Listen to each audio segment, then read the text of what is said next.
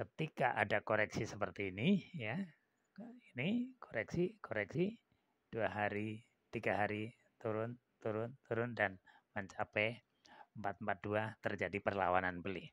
Termasuk saya order beli tapi tidak mendapatkan di 442 444 karena udah siang juga nggak mendapat.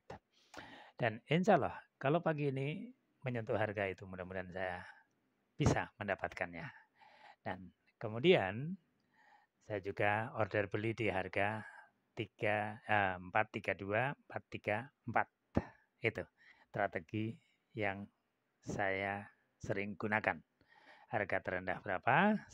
Dua periode dalam hal ini periode bottom ya.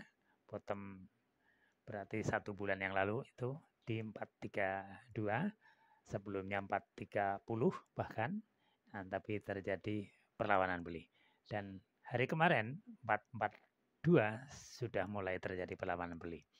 Apakah akan terjadi perlawanan beli seterusnya? Nah, apabila hari ini terjadi perlawanan beli, mungkin untuk order saya yang di bawah 442 bisa jadi tidak dapat.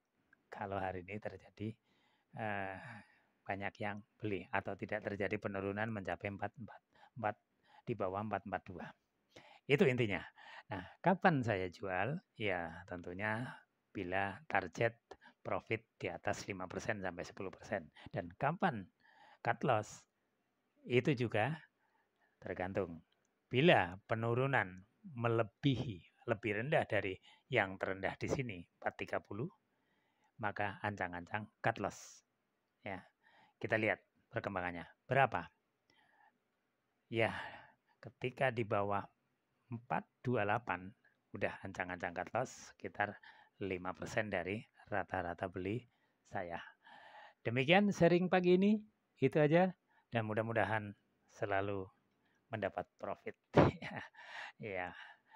Silakan klik like dan subscribe bagi yang belum dan sentuh atau aktifkan loncengnya.